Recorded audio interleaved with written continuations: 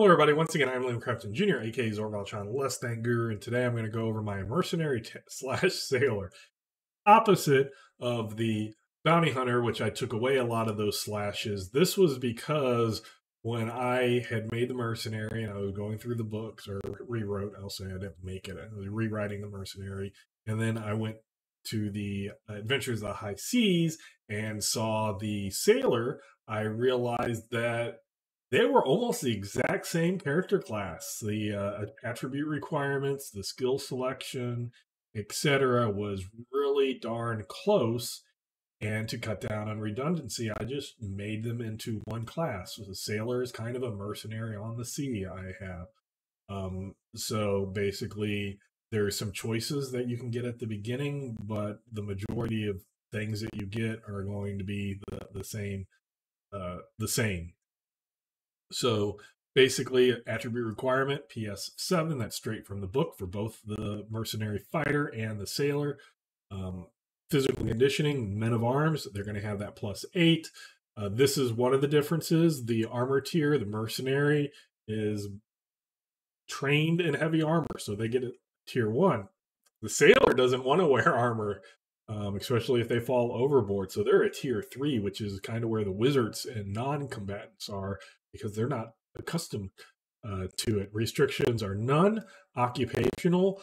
Um, this one here, they both get hand to hand mercenary, small shield, scale walls.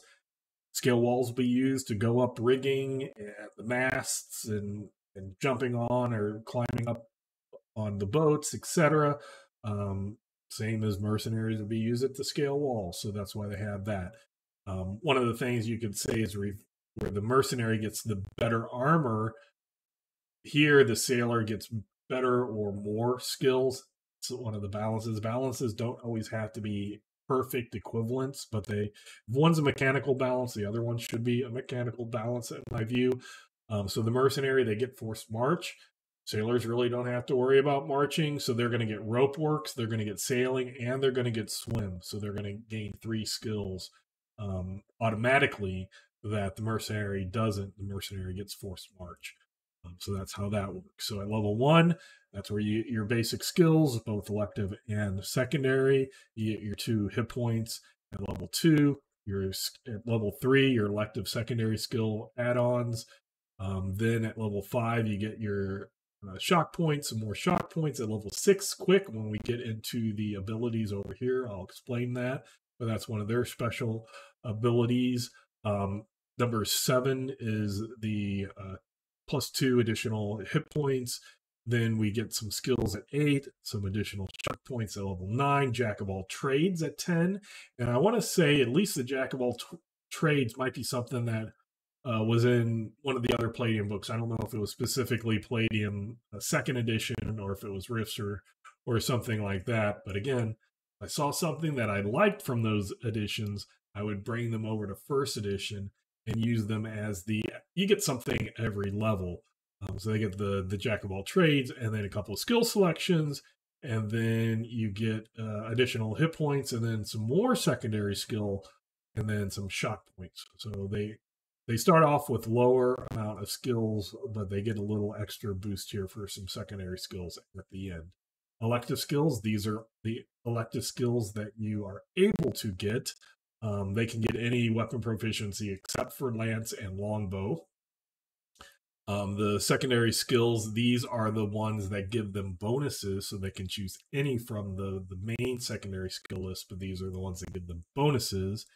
Um, quick, they can add 10 um, to combat speed, so that is uh, really good. Co- uh, combat movement, uh, is one that in in my game, and I've explained it in in how combat works.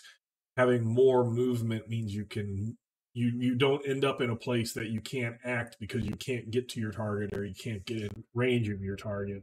Um, so mercenaries being able to be quick and move in combat is helpful. And then the jack of all trades is they just get a plus five percent to all base skills. They're mercenaries. They're they're not supplied by a, a, country or a city or like a soldier is they just got to learn to do everything on their own they're responsible for a lot of stuff so any skill they have that's a percentage based skill, boom, plus 5% to all skills. Um, then the starting equipment that they uh, get. And then again, like I talked about with the experience chart, it's the same as Palladium with just the, instead of being 1901, it's 1900. And it's in red to show you that that's the amount of experience you need when you're moving from one occupation to a mercenary soldier. Your XP is frozen and you need to gain 1900 XP. And then once you gain that, you're level one.